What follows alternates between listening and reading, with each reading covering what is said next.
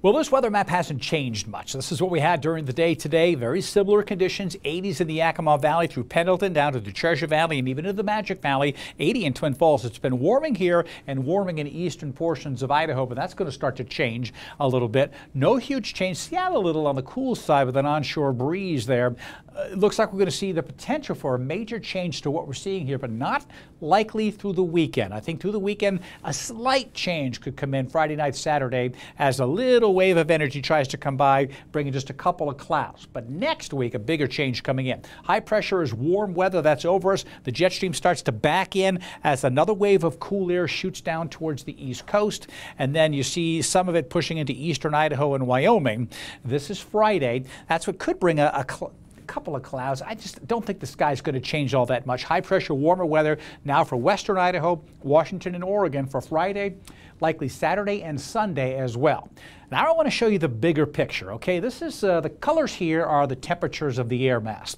And the brighter reds and oranges, that's the warmer weather. And then as you get to the yellow, it starts to cool in here. And then the, the blue, that's some real chilly air. So the jet stream separates the cool air to the north. You see it moving right here. That's the, the, uh, the polar jet stream.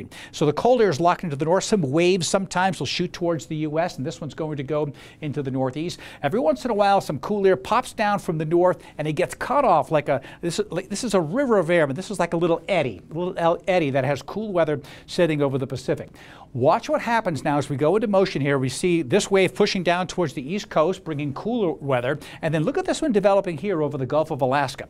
This one's going to start to dive in our direction, and the computer chart's going to show this breaking away and going right across Idaho as it moves on in. Notice also the moisture that's coming from this low pressure. See it right here, this green, is going to get wrapped up into that storm. So now we have a cool storm that has some moisture, I believe. And as it tracks down through western Canada, look at this. It's going to park itself or at least move right across Washington, Oregon, and Idaho.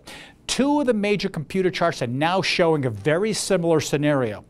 In the middle of this pool of cool air, it will be chilly. And we're talking about a potential for some snow as early as Wednesday morning, dusting the ground in the McCall area at 5,000 feet. So this is the type of weather with a more appreciable snow in some of the higher elevations. So this is Tuesday.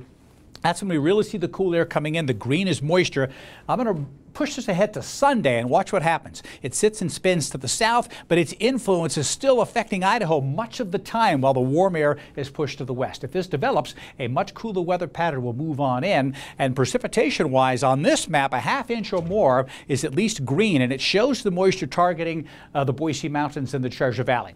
It's going to be difficult forecast to really pinpoint it because it could move to the west, and if it moves to the west, we won't have that. But in the meantime, it's going to be beautiful. Sunshine, gorgeous conditions in the McCall area again, and our forecast coming up for tomorrow shows just like today, about 82 degrees, sunny, warm, light wind continues for the west central mountains. We'll see temperatures of about 40 to 45 in the morning, with highs in the mid 70s again in the afternoon, and more of the same in the Sun Valley area with all that sunshine, 70 to 76. Extended forecast now. You see the 80s right here. Let's go into Saturday now. Boise State football game, 7:45 p.m. kickoff. Still looks like 70s, mid 60s at halftime. 62 going home. A couple of clouds. I think it's going to be pretty nice. But look at the change here. 65 Tuesday, 63 Wednesday. If that pool of cool air comes right over us, this could drop into the 50s in the Treasure Valley. So a big change likely during the middle part of next week.